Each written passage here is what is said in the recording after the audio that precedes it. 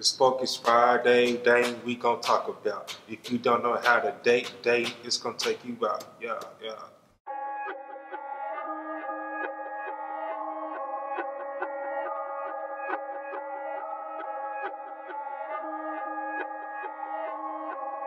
It's found in Jesus.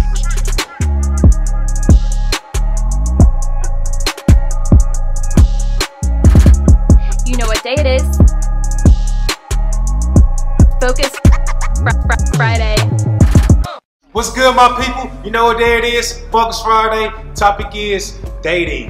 Now, the Bible doesn't give specific information or convey about dating, but it does give out principles about how to deal with people. We're going to check out Genesis chapter 24. So, Abraham gives his servant a mission, and that was to go and find his son Isaac, a wife. Verse 10, it says, Then he loaded 10 of Abraham's camels with all kinds of expensive gifts from his master. And he traveled to distant Arab Naharam. There he went to the town where Abraham's brother Nahor had settled. He made the camels kneel beside a well just outside the town. It was evening, and the women were coming out to draw water. O Lord, God of my master, Abraham, he prayed, please give me success today and show unfailing love to my master Abraham. It's amazing how the servant is praying for the wife of someone else. And this leads to my first point about being wise in dating. You must have counsel and accountability. You need somebody that knows about your dating relationships.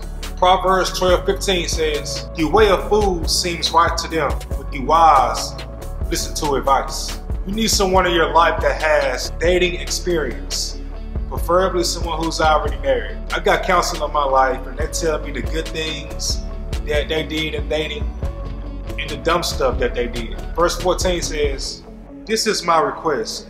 I will ask one of them, Please give me a drink from your jug. If she says yes, have a drink, and I will water your camels too. Let her be the one you have selected as Isaac's wife. This is how I will know that you have shown unfailing love to my master.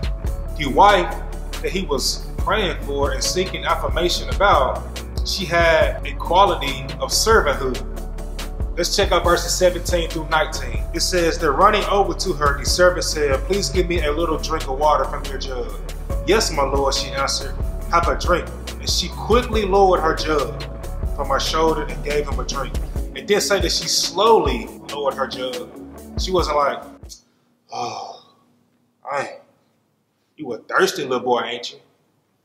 I ain't just thirsty. And this leads to my next point. Dating is not for selfish people. If you're approaching dating with the mindset of what can I get or how can this person make me feel good, then dating isn't for you.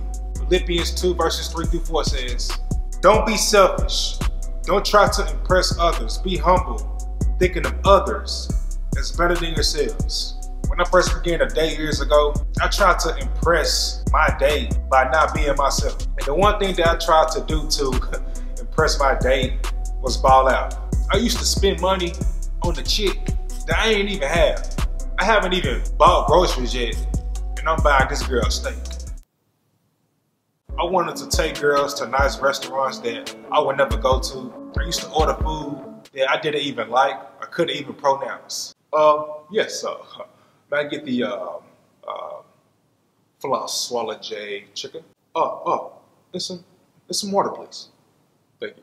I feel God looking at me like, boy, chill. You know you love wings, extra fries, and sweet tea. And your date does too.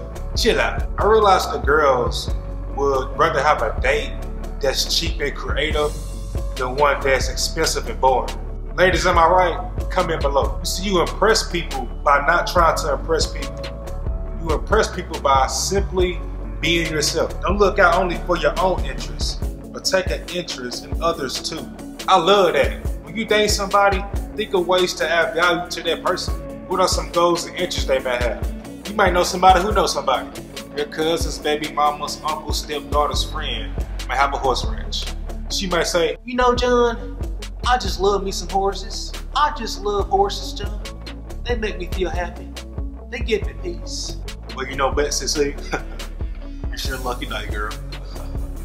Obviously, my cousin's baby mama, uncle, stepdaughter's friend has a horse ranch. You know what? I'm gonna give her a call. Oh, John, you would do that for me?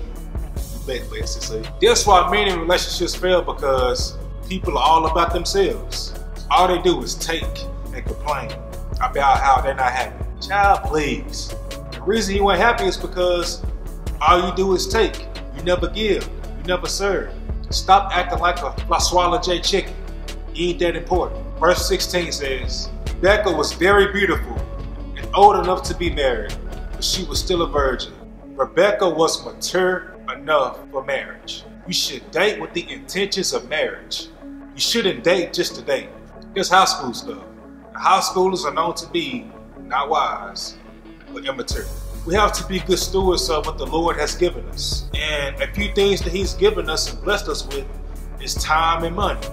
And if you're dating just a date without an end goal in mind or purpose, you're wasting time and money. Verse 21 says, The servant watched her in silence, wondering whether or not the Lord had given him success in his mission.